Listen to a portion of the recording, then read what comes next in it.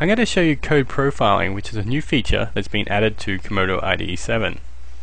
Here I have the PyStone application which is a sample benchmark program written in Python and I'm going to profile it. So I'll use the debug, start code profiling.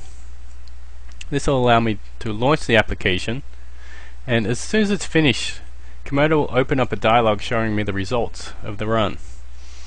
So the default layout is a, a tree hierarchical view where you can see which functions were called. So I'm here in the module of PyStone.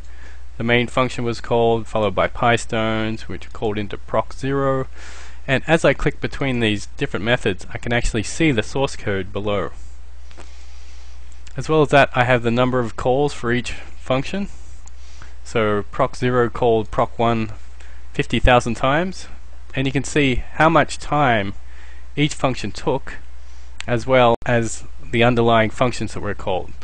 Over on the right there's a bar graph which shows you basically a percentage of CPU used by this particular function. So you can see here proc1 was using about a third of the CPU and it was called by proc0 which was using about up to about 95% of the CPU.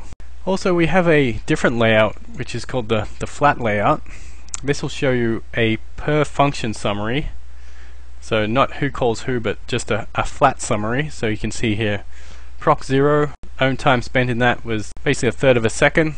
You can see up the top was the total time was 1.12 seconds, so roughly about a third. You can see all the functions that proc naught has called, as well as you can also see the source code in this view as well.